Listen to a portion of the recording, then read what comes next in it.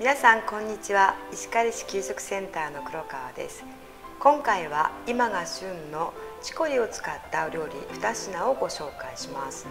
チコリはほろ苦さがありますが歯触りがとてもよく美味しい野菜です。ヨーロッパで作られていた野菜ですが最近では石狩市でも栽培されています。ではこれからお料理作っていきましょう。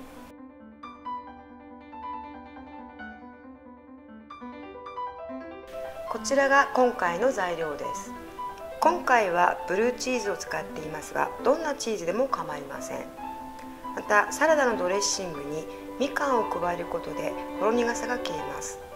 ではまずチコリを切っていきます。今回の特徴は1個のチコリを外側と内側に分けてチーズ焼きとサラダに使っていきます。次にチコリをこのように大きい時は半分に切ってお皿に並べていきます。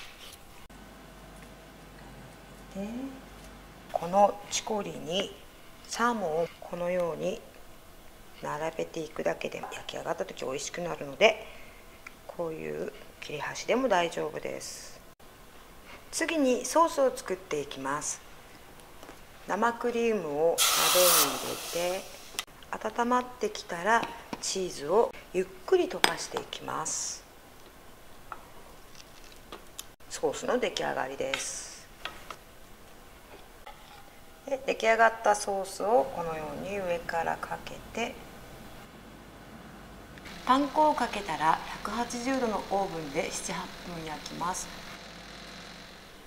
では焼いている間にサラダを作っていきましょう。先ほど分けた外側の葉をサラダ用に切っていきます。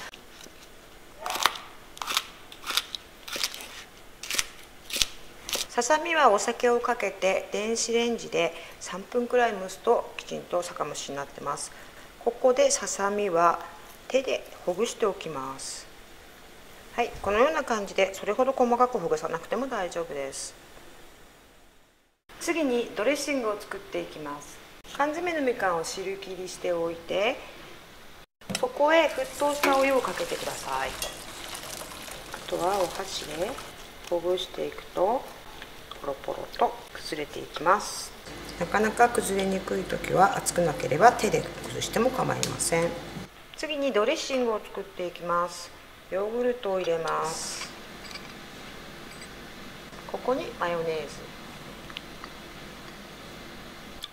ヨーグルトとマヨネーズがよく混ざったら先ほどの冷ましておいたみかんを入れていきます。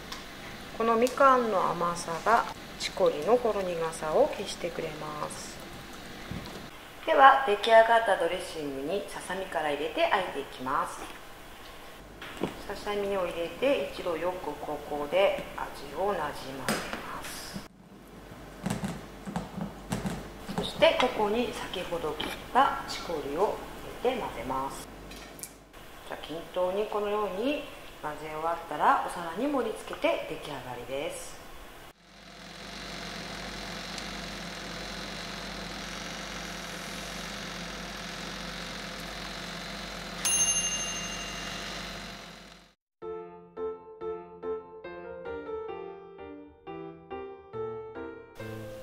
これでチコリとささみのオレンジサラダ。